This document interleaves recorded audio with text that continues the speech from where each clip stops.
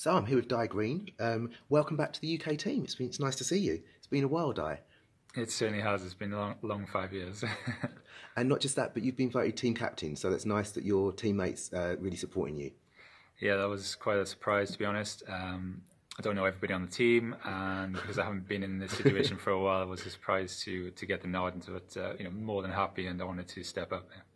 Cool. So um, obviously you've been world champion, European champion, Commonwealth champion, Diamond League champion, Continental Cup champion, um, fourth at the Olympic Games, and then we haven't seen you really around at all since 2013, and you only ran two races, I think, since 2015. So what's been going on with you?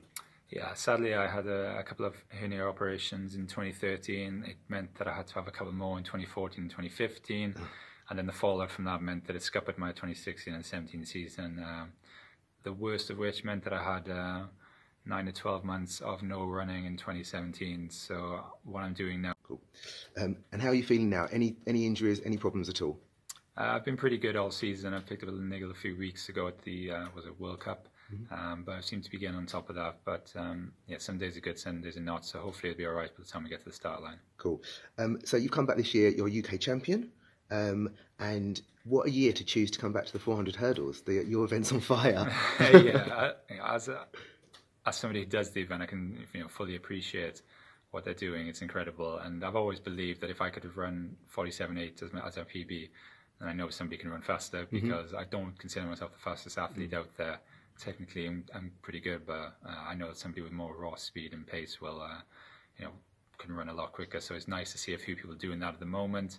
Um, and yeah, I look forward to being able to, being able to race those guys um, you know, either this season or next season. Well, be racing Karsten Warholm here, hopefully. Um, what are your expectations for this championships, and what would, at the end of the week, what would you go away happy with? Well, coming into the champs, I was hoping to try and get to the final. Um, I'm ranked 13th, but at the same time, there's not much between us. Yeah, it's really the close. top five. It's very close in my event. Um, so I know that I have to pretty much run a season's best or to guarantee that.